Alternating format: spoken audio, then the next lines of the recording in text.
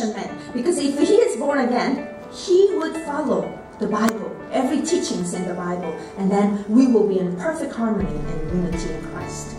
So I prayed like this every day for a year and a half. Can you imagine that? A year and a half of praying and the prayer is not being answered because every man I met was not attractive in my eyes, right?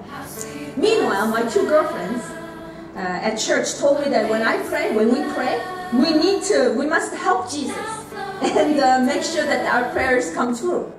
And so he said, so I said, oh, what is that? He says, uh, they said that uh, I must go visit different churches and see who's available. and so they were suggesting me to go church shopping. And since I was a brand new Christian and I didn't know better, I listened to their suggestions. And uh, next Sabbath, uh, I got myself all dressed up and I went to church in Wayne, uh, New Jersey, looking for a husband to be, right? Can you imagine this a foolish girl? anyway, um, I, when I got to uh, that church, uh, Sabbath school lesson had begun, and I saw a man leading out the uh, lesson studies And he was kind of cute, you know, and he was in early 30s, it looks like, you know, and uh, I said, hmm, I wonder if he's married. But the lesson got so interesting and I had forgotten about it, and, and I was engrossed in the lesson. After we finished the lesson and we came back to the sanctuary, he was leading out the sound service. And I thought, wow, he must be a born-again Christian because he's doing so many things in the church. And uh, I said, hmm, I wonder if he's single, you know, again. And then suddenly I heard the voice of God. Child, yeah? Why are you here? Huh? Well, to worship you, of course. It's a Sabbath, isn't it? And then I realized my mission to that church that morning. It wasn't to worship God, but it was to find a husband, look for a husband. I burst into tears of repentance and I apologized and I said, Jesus, I'm so sorry. I will never, never, never do this again because Sabbath is holy unto you and I must worship you. And you know, God is a jealous God. He doesn't want our minds to wander. He wants our minds to be focused on Him. Amen. And to love Him and adore Him holy Sabbath day. So after two weeks of this, uh, so I stopped going. I, I gave up uh, and I said, forget it. I'm married to you. I don't need a husband. but after two weeks, um, my girlfriends again nagged me, and they, they invited me to go to this uh, uh, uh year-end party for uh, AYs. And but I flat out refused and say, no, no, no, I'm not church shopping, uh, and I'm not interested in anything. And they they begged me and nagged me, and they wouldn't leave me alone until I consented, you know. And then that day was December 13, 1986. December 13, 1986. Okay, so um, but once I got there, I was adamant that I would worship God on, and only on His holy Sabbath day. So I sat right in front of the pew, and when they said way in the back, you know. But I came alone and sat alone in the front, and the sermon was perfect for me because the sermon was on Jeremiah chapter one, verse uh, nine.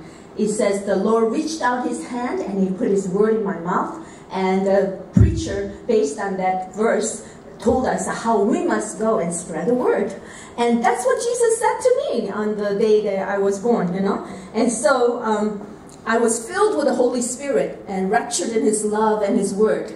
And as uh, uh, we were leaving, and you know, since I was in the front, I got up first to leave, and I was greeting people, "Happy Sabbath, Happy Sabbath." And then Kevin was sitting where uh, uh, Karen was sitting, and uh, he got up, and he looked back. Who's? I mean, he, he came to me, he was going to go out, and then he turned around, and he looked at me, and he says, Hi, are you a visitor? I said, Yes. He said, Oh, I'm a member here. My name is Kevin. And he introduced himself. and then there was a Yonkers church in New York.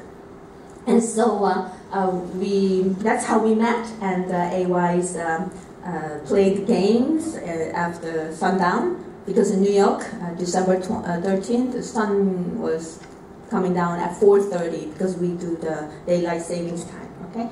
So we were having a good time and uh, Kevin uh, came and let me know, hinted me that he liked me. And then he asked me for my phone number and we he was quick. so quick, so quick.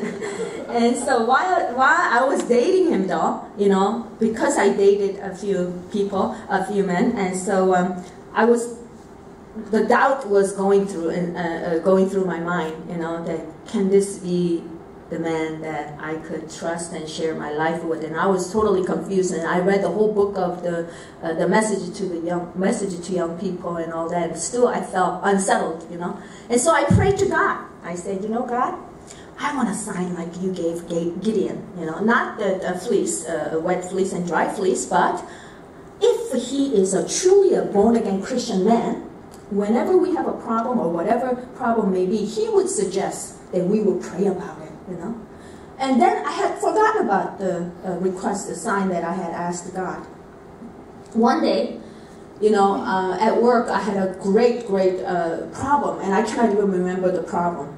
So I came home, and I could just, as I was unlocking the door, I can hear the phone ringing, you know, because it was Kevin calling every day faithfully, 6 p.m. I answered the phone, and sure enough, it was him. And so immediately, I'm bursting out with my complaints and, and, and, and anger and, and all that to him. And you know, usually I expect uh, people on my side you, you would get um, excited with me, you know.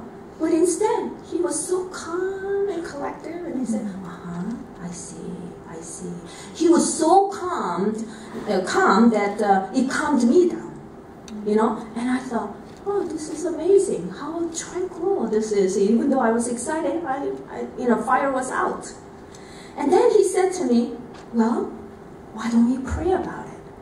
And then suddenly I, I said, pray? Oh, why didn't I think of it? Because I was so excited, I had forgotten to pray. Mm-hmm. And so I said, okay. And so I knelt, and he began to pray first. And then uh, as uh, he was praying, I heard God speaking. Child, yeah? Do you remember you asked for a sign whether Kevin was a born again Christian man or right man for you or not? I said, Yeah, this is it, like that. And then I looked at the situation, and here he was praying, and I'm praying, and uh, it was an answer to my request, you know, my prayer. God was giving me a sign that Kevin was the right man. And so from that moment on, I trusted Kevin. And uh, I let down my, you know, uh, guard. And we have been married for 26 years, and he had never, never let me down. And uh, he had always supported, supported me, and uh, he had always uh, been with me and kind to me. You know, I tell you, I am married to a walking Jesus. I have a hot temper. Uh, not that I get angry, but I get excited. My voice goes up. But that doesn't mean I'm angry. It's just that, oh, you know, and I have a, that kind of a character. But he is like a calm sea, you know, and he's always uh, California weather. He's always sunshining. never, never negative, never, never under the weather or rain or cloudy. He's always happy person, happy-go-lucky person, and I am so blessed to have uh, Kevin as my husband, you know. and uh, on my wedding day, as I was getting ready in the basement of the church, you know. And it was Kevin's uh, uh, family reunion, you know. So he had over 200 members in his family, mm. relatives got gathered at the, South Dakota. And um, people upstairs were singing. But you know, I didn't even have a single person there on my side. And so I was kind of you know, scared and nervous because uh, uh, I was alone. I felt very sad and lonely. And then I heard them singing, you know, and uh, how great thou art. And not only that, the groom's party were, were late in coming. And so, you know, I was getting nervous. Did Kevin change his mind, you know? and so when I heard the word, how great thou art, I said to my sisters-in-law who were assisting me, oh, you know, that's my favorite song. And then suddenly, I felt the whole area holy. I felt the presence of God coming near to us, you know. And then I said, oh. And uh, Jesus said to me, my child, I have come to bless you. I just started crying and I told my sisters-in-law, hey, Jesus is here. And they looked at me like a bewildered, you know, they could not believe what I was talking about. They probably thought I was crazy or something, you know. And but my child, I have come to bless you. I was so happy. You know, uh, my marriage, I believe, I worship you and I lift up your name on high. Thank you so much for blessing us, giving us life, creating us and redeeming us and providing for us. Even though we are weak, fragile, and we fall constantly, may you forgive our sins. May you forgive our known and unknown sins. And may you reveal what we ought to be through your word, that we may become more like you and be converted every day and be born again every day. We yearn for your second coming. And meanwhile, Father, as we uh, dwell on this uh, pilgrimage, may you uh, bless us and help us and teach us your ways. Please bless our Sabbath school lesson discussion today and help all of us to be filled with your Holy Spirit. Lead and guide us, we pray in Jesus' name. Amen. Thank you, church. Enjoy your Sabbath school lesson. And young people, listen. Are you worried about your future? And whether you will find the right man for you? Don't worry, but trust in Jesus and pray. I claimed this Bible text when I was praying for my husband to be. Psalm 37, verses 3 and 4. It says, Trust in the Lord and do good. Dwell in the land and feed on his faithfulness. Delight yourself in the, uh, also in the Lord, and he shall give you the desires of your heart. You know, I claim that this Bible text all the time and claim. I say, Jesus, you know, I obey you. In my, you know, my uh, uh, standard, I thought I was following God to my best. And, and I love you and I trust in you. Therefore, please give me my desire, and that is I want a born again Christian man. And so God fixed me up. He was the matchmaker. And funny thing is that after I met Kevin, you know what Kevin said to me? I have been praying for a woman with, filled with the Holy Spirit for a year and a half. Mm-hmm. So you never know who God is preparing for you.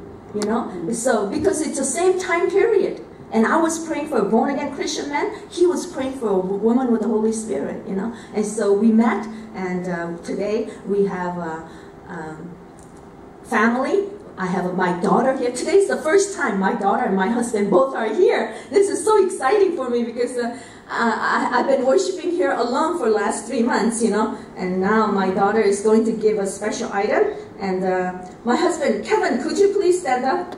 and that's my husband. Please welcome him. And this is my daughter, Crystal. Would you please stand up? Okay. All right. She's going to give us a special item, and uh, I hope and pray that you'll be blessed. God bless you. Thank you.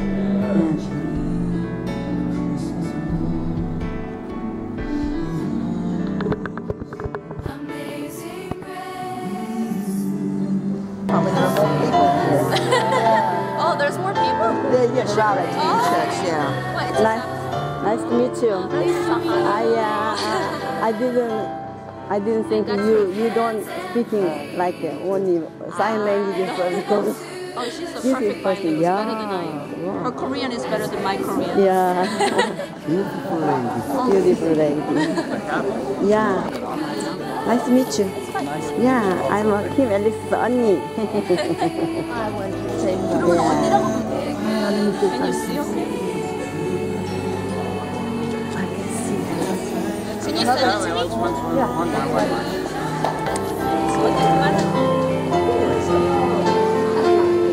Come on, come on, come on in. Come on, oh, come on. Hit the button one. Let me hide from that. Where is Ambo? Oh, my 동생. Yeah, yeah. I've seen you before. Yes. Where? Yes, yes. Where? Um, I. Yes. I'm going back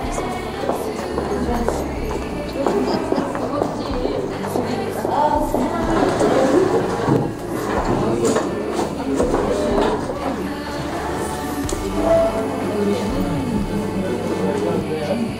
fathers saw the fourth commandment, seventh commandment as a punishment by God.